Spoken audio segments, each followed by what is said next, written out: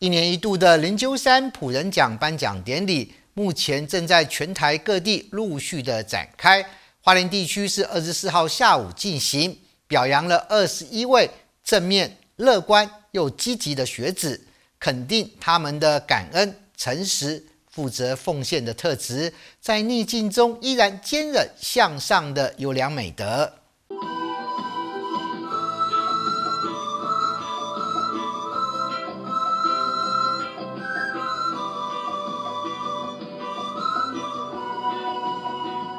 二十四号下午，灵鹫山普仁奖颁奖典礼在康乐国小排笛社的优美乐章中正式揭开序幕。今年在花莲地区，总共有二十一名正面、乐观、积极的学子获得奖项。所有的学生哈，他之所以会被推荐出来，最重要的是说，呃，是有老师，然后校长，他们在平常生活里头去观察这些学生，他们对于。呃，是不是对师长、对同学啊、对他们的父母啊、兄弟姐妹，还有他附近的周边的他的关怀，他是怎么样去呃实践这个对品德的关怀？他的就第一个，他不是一定是成绩非常优异，可是他们非常勤奋好学，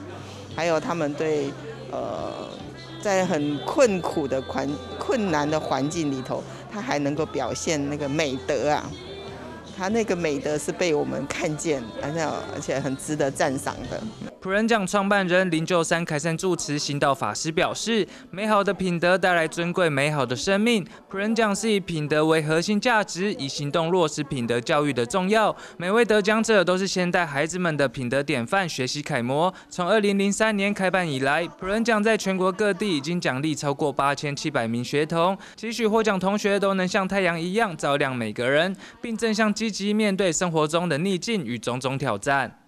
记者徐丽琴，华联市报道。